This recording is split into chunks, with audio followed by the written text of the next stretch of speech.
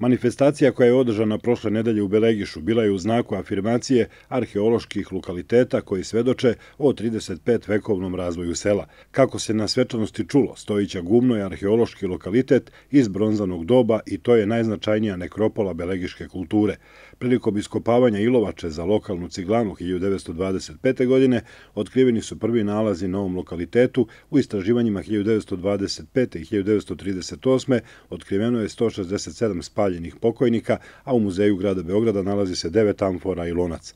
U razgovoru za medije, Đorđe Radinović, predsednik opštine Staropazove, najavio da će lokaliteti biti obeleženi, a pronađeni sačuvani eksponati moći da se vide u Belegišu. Nadam se da ćemo u budućnosti još mnogo toga učiniti više, da se mnogo toga više i zna o istoriji Belegiša, odnosno svih naših mesta sa na teritoriji naše opštine. U narednom periodu u planu da se obeleže svi ti lokaliteti i da naredne godine na ovakvim sečanostima budu izloženi ti eksponati da mogu svi građani da se uveri da to vidi.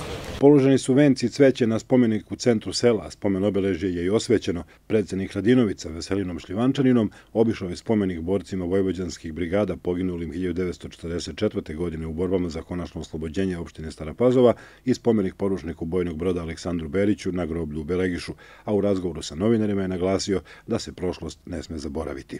I želja je uopšte nas koji, koji vodimo opštinu Stara Pazova da se sećamo i ne zaboravimo naše predke. Kako sam i rekao, svako neko zaboravi svoje predke, nema ni svetlu budućnost. Mi se držimo toga i mi smo na sada ovih nekoliko nedelja obnovili sve spomenike u Belegišu koji su vezani, znači istorijske spomenike koji su vezani za niz stotina godina unazad gde, se, gde ovaj, su meštani Belegiša polagali svoje živote kako za slobodu, tako i da mi danas bolje i lepše živimo.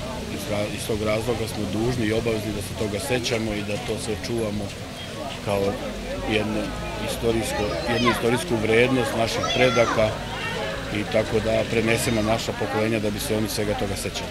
Radinović je naglasio potrebu čuvanja kulturne baštine. To je jako važno srpski narod u ovim teškim vremenima.